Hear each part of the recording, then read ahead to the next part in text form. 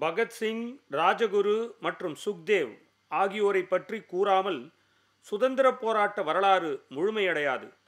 தேசத்தின் இந்த மூன்று மகன்கள் தேசத்தை அடிமைத்தலையிலிருந்து களைய மிக உயர்ந்த தியாகங்களை செய்துள்ளனர். ஆயிரத்தி தொள்ளாயிரத்தி முப்பத்தி ஒன்றாம் ஆண்டு மார்ச் மாதம் இருபத்தி மூன்றாம் தேதி இந்த மூன்று தலைச்சிறந்த சுதந்திர போராட்ட வீரர்கள் லாகூர் சிறைச்சாலையில் தூக்கிலிடப்பட்ட போது தேசம் முழுதும் நிராசையில் மூழ்கியது. இன்று உங்களுக்காக சிவராம் ஹரி ராஜகுரு அவர்களது வரலாற்றை கூறவிருக்கின்றோம். அவர் ஆயிரத்தி தொள்ளாயிரத்தி எட்டாம் ஆண்டு ஆகஸ்ட் மாதம் இருபத்தி நான்காம் தேதி பூனாவில் பார்வதி தேவி மற்றும் ஹரி நாராயண ராஜகுருவிற்கு மகனாக பிறந்தார். அவரை சிறப்பு செய்யும் விதமாக அவரது பிறந்த இடத்திற்கு ராஜகுரு நகர் என்ற பெயர் சூட்டப்பட்டது. அவர் சிறிய வயதிலேயே சேவை குழுவில் இணைந்தார். அவர் ராம்பிரசாத் பிஸ்மில் சுசீந்திரநாத் சன்யால் மற்றும் பல சுதந்திர போராட்ட வீரர்கள் மூலம் நிறுவப்பட்ட இந்துஸ்தான் சோஷலிஸ்ட் ரிப்பப்ளிகன் அசோசியேஷனில் உறுப்பினராக சேர்ந்தார். பகத்சிங் மற்றும் சுக்தேவிற்கு துணையாக ராஜகுரு இருந்தார். சைமன் கமிஷனை எதிர்த்து நடத்தப்பட்ட போராட்டத்தில் காவலாளியால் தலையில் தாக்கப்பட்டு உயிரிழந்தார் லாலா லஜபத் ராய்.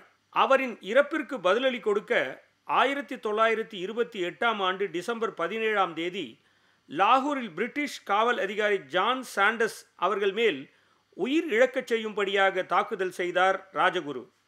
பிரிட்டிஷ் அரசு ராஜகுருவை கொலை குற்றம் சுமத்தி அவருக்கு மரண தண்டனை அறிவித்தது. ஃபிரோஸ்பூரில் சட்லஜ் நதிக்கரையில் உசைனிவாலாவில் அவரது இறுதி சடங்குகள் செய்யப்பட்டன.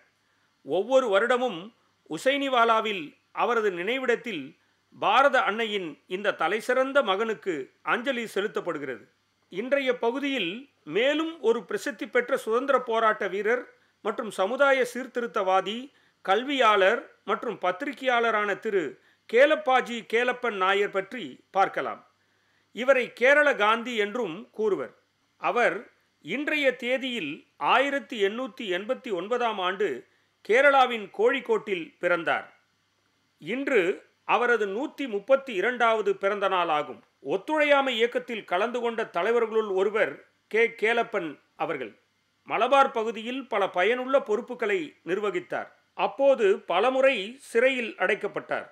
ஆயிரத்தி தொள்ளாயிரத்தி முப்பதாம் ஆண்டு அவர் உப்பு சத்தியாகிரக போராட்டத்தை தலைமையேற்று பையனூர் கடற்கரையில் அணிவகுத்து சென்று உப்பு தயாரிக்கவும் செய்தார். ஒரு பக்கம் சமுதாய சீர்திருத்தங்களுக்கு போரிட்டார்.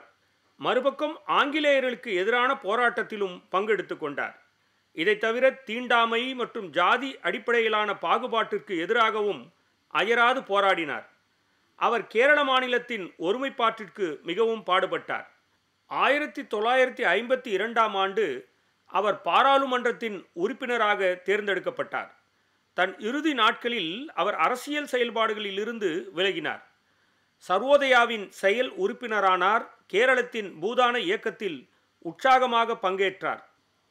கேரள மாநிலத்தின் பல காந்தியவாதி அமைப்புகளுக்கு தலைவராகவும் இருந்தார் கேலப்பன் இன்று இதே நாளில் ஆயிரத்தி தொள்ளாயிரத்தி பதினோராம் ஆண்டு வங்காளத்தில் கிருஷ்ணா நகரில் தலைசிறந்த சுதந்திர போராட்ட வீரர் பீனாதாஸ் பிறந்தார். வங்காளத்தில் சுதந்திர போராட்டத்தில் கலந்து கொண்டு பெரும் பங்காற்றிய பல பெண்மணிகளுக்குள் இவரும் ஒருவர். பீனாதாஸ் தன் இருபத்தி ஓராவது வயதிலேயே புகழ் பெற்றார்.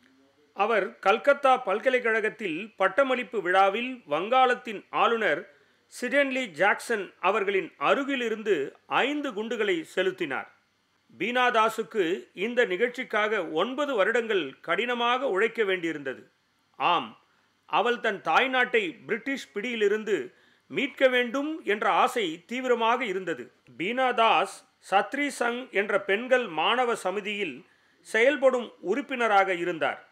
இந்த சமிதி இந்தியாவின் சுதந்திர போராட்ட பணிகளில் ஈடுபட்டு இருந்தது இன்று சுதந்திர போராட்டத்தில் பங்கெடுத்து கொண்ட காந்தியவாதியான நித்தூர் ஸ்ரீனிவாசராவ் அவர்களின் பிறந்த நாளாகும். இவர் மைசூர் மாநிலத்தின் உயர்நீதிமன்றத்தின் தலைமை நீதிபதியாக பணியாற்றினார். திரு ஸ்ரீனிவாசராவ் அவர்கள் பங்களூரில் ஒரு படித்த மற்றும் மத்திய தர குடும்பத்தில் பிறந்தவர். ஆயிரத்தி தொள்ளாயிரத்தி முப்பது மற்றும் ஆயிரத்தி தொள்ளாயிரத்தி நாற்பது இந்த பத்து ஆண்டுகளில் அவர் இந்திய சுதந்திர போராட்டத்தில் ஈடுபட்டார். அவர் காங்கிரஸின் மைசூர் மாநில பிரிவிற்காக பணிவான முறையில் ஒத்துழையாமை இயக்கத்தில் பங்கேற்றார். ஆயிரத்தி தொள்ளாயிரத்தி நாற்பத்தி இரண்டாம் ஆண்டு வெள்ளையனே வெளியேறு போராட்டத்தின் போது அவர் சுதந்திர போராட்ட வீரர்களுக்கு அடைக்கலம் அளித்தார். ஆயிரத்தி தொள்ளாயிரத்தி இருபத்தி ஏழாம் ஆண்டில் மகாத்மா காந்தி பெங்களூருக்கு சென்றபொழுது ஸ்ரீனிவாசராவ் காந்தியிடம் அவரது சுயசரிதையை மொழியாக்கம் செய்ய அனுமதி பெற்றார். மொழியாக்க நூலுக்கு சத்யசோதன் என்று பெயர் வைத்தார். பொதிகை செய்தியுடன் சுதந்திர பயணத்தின் இந்த பகுதியை நிறைவு செய்கின்றோம். நாளை அடுத்த பகுதியில் சந்திப்போம்.